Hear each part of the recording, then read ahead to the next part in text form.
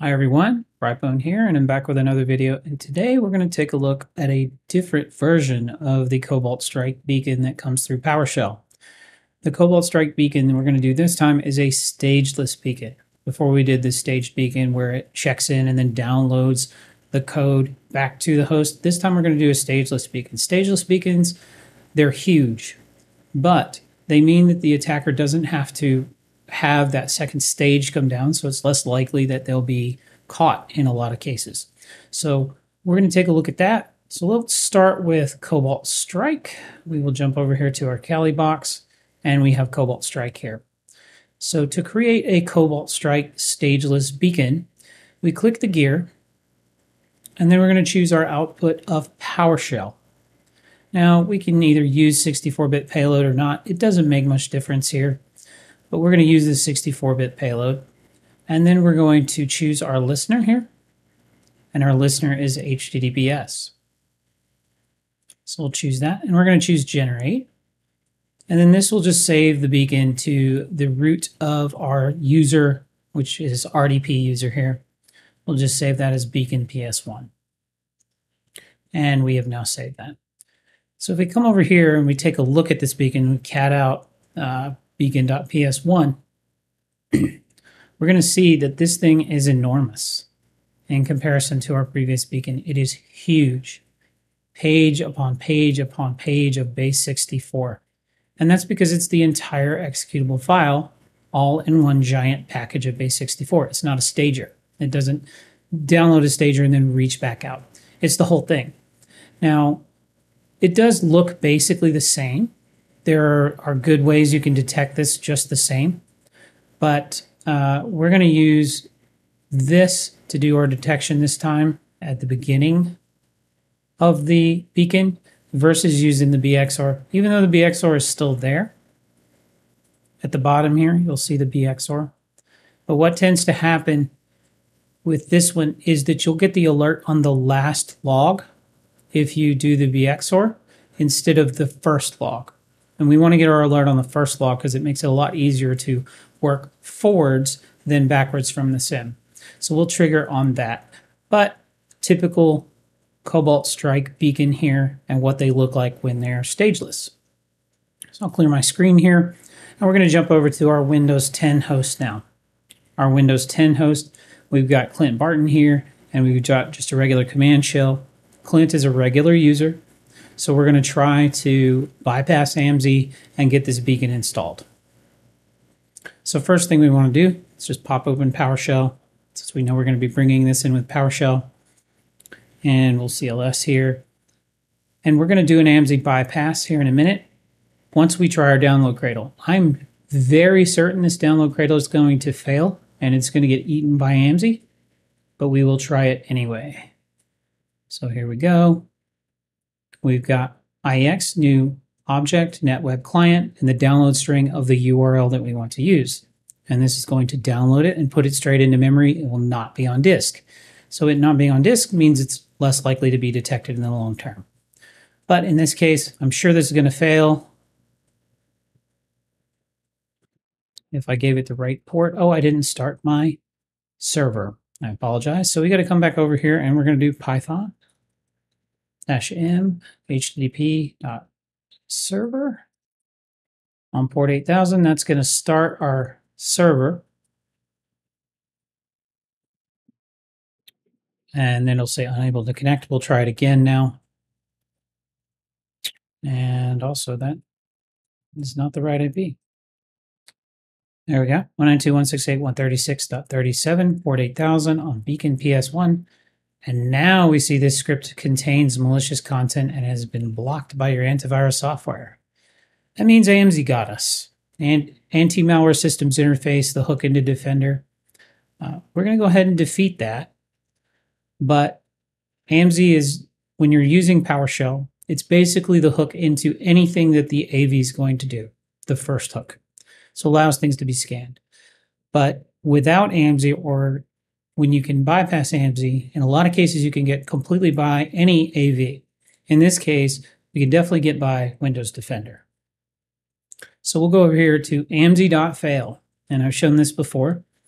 but we're just going to generate a payload and we'll generate one that, you know, looks like it's going to work. Typically these Rasta mouse ones work. And just don't pull the top. Make sure you get down to here.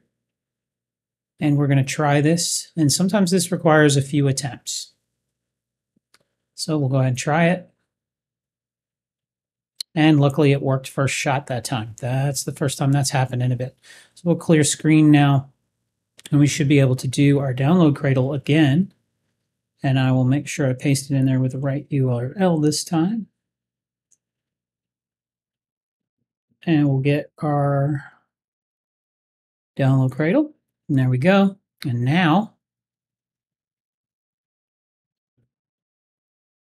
it seems to have worked because it locked up. Oh, Defender ate it. Sometimes this happens now, but we'll just try it again. This has happened to me a couple times, but I've been able to get the beacon in there successfully after a little bit.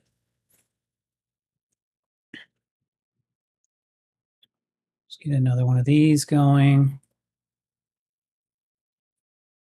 Back to Win 10 host 2. Clear our screen. Do our bypass. There's our bypass. Then we'll do our beacon once again. See if it gets us this time. Mm, not looking like it got us that time. And we see the download and we have a beacon. So we have our beacon. so we know for a fact this is working now. Uh, if I go over to interact, I can give it something just to see if it will come back. We'll just do who am I? Uh, well, actually just PS. And in a second, we should get the list processes back because this one still seems to be running. And it is because it didn't kill off PowerShell. So we'll jump over here to Kali. And in a minute, it'll process. Regardless, the whole point was just to illustrate how to get by Hamzy and get a beacon to work and it is working. It's just taking a minute, a little period of time. Defender may be messing with it a bit, and there comes our process list, but Defender may be messing with it a little bit here. So let's jump over to our Elastic SIM, and we'll detect this now. So to detect this, it's much like the other Cobalt Strike beacon. We're going to start looking at event code 4104. And this is PowerShell script block logging. So if we do PowerShell script block logging, we have every script that's run on that system. And having those scripts means that we can do things with them. We can reverse engineer them. So we can see event ID 4104 here. And we'll scroll through these because we may have a few. That does not look like it. This one does. Nope, not it either. Oh yeah, here we go. See all this text? This is our Cobalt Strike beacon, and look how long it is. It just goes and goes and goes and goes. And then if we go to the next log, it'll be the same thing because they're continuations. See, and there's our BXOR35. So we've split this into multiple logs. If we go over here and we look on our Win10 host now, and we go to the event viewer, go to event viewer, we'll take a look at what these logs actually look like. So if you go to applications and services logs, we'll then go to PowerShell and operational, and it'll show us the number of logs that's created. This is bigger and smaller depending on the beacon size and what you've uh, configured, but sometimes this can be four or five logs that we're going to have to piece together to make this work. So we'll give it a second here. It's still loading.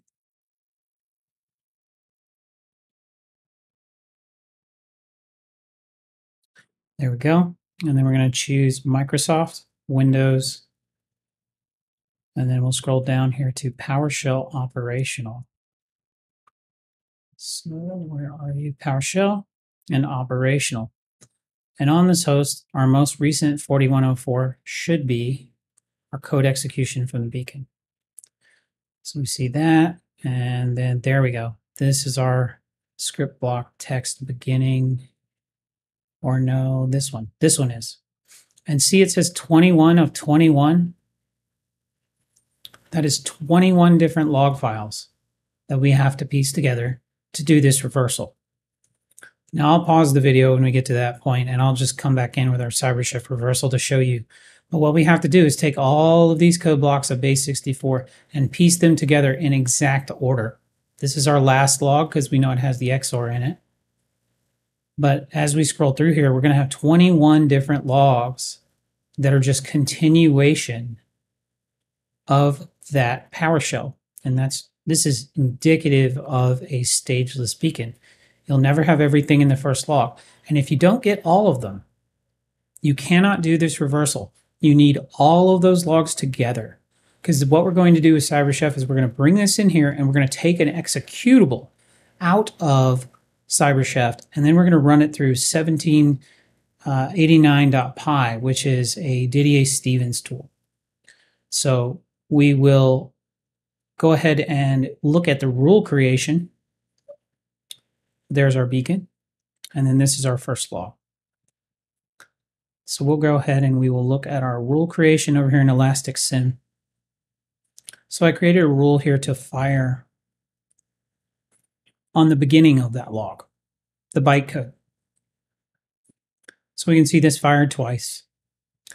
And if we pop this open, we should be able to go to data view uh, we'll do it a different way.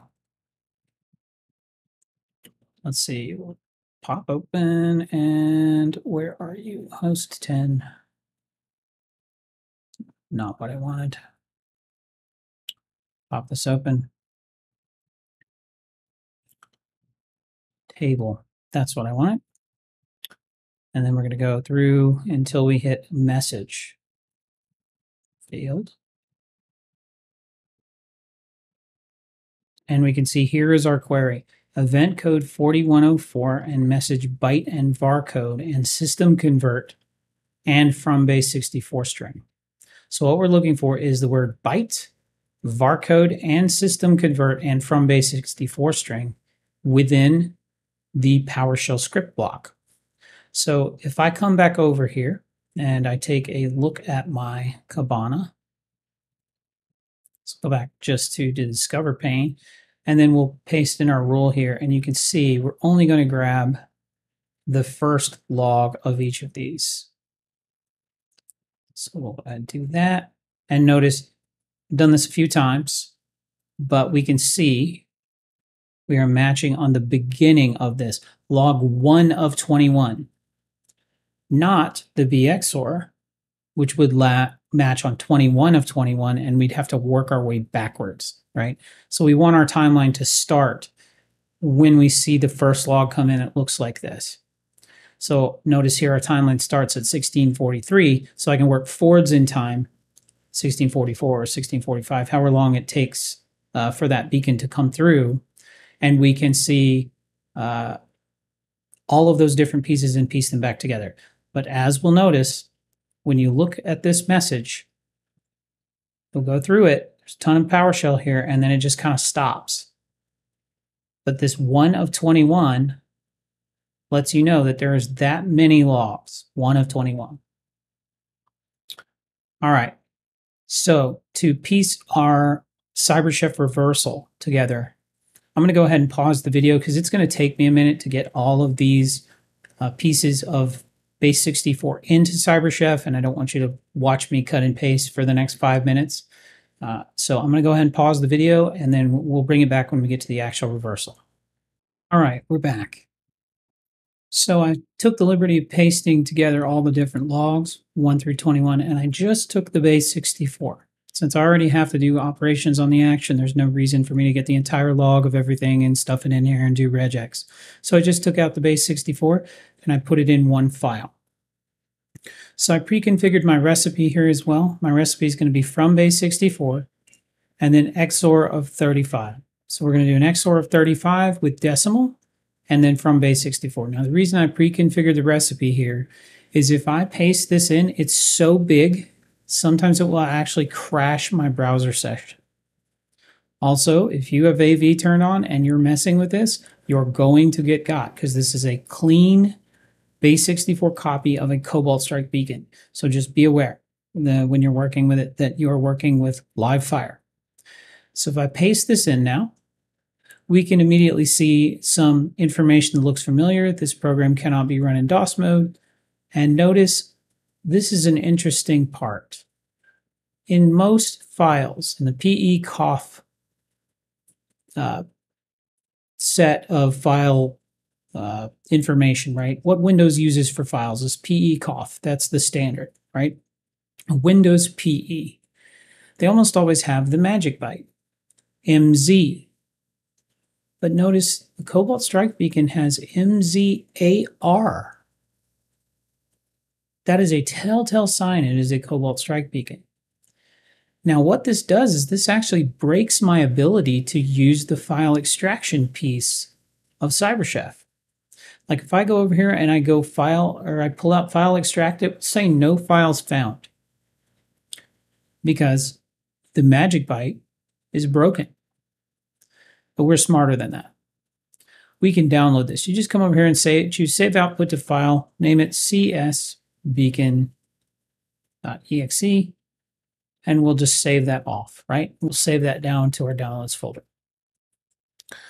Now, once you've done that and you have a clean copy of this file, you can now use a tool called 1768.py from Didier Stevens to do the analysis of it.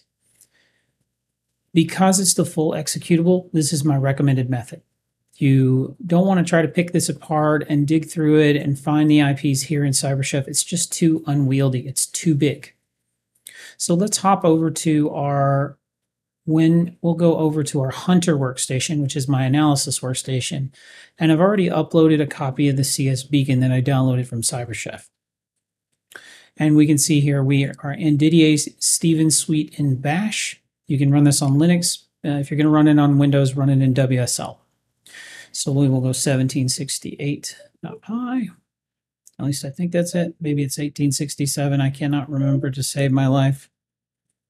1768.py. So Python 3, 1768.py. The beacon is in the folder above this, so I gave it a dot dot slash. And then here's csbeacon.exe. So we'll go ahead and we'll run this tool and it's going to do its analysis and it's going to say guessing Cobalt Strike version 4.4. And this is the 64-bit one, see? So if we scroll up, we can also see the URL that it's using for the, for the post. We can see it's a post. We can see it runs sysfile64 run DLL32 and sysnative run DLL32.exe as well as here is our URL. 192.168.136.37. So we would now go put this in our firewalls and stop this beacon from executing. So that it would no longer be able to communicate back to the beacon host. So that's it. We've done our reversal Cobalt Strike beacon. Once again, thank you everybody. Thanks for liking and subscribe subscribing. I've got a whole bunch new subscribers. Uh, want to get those watch hours up.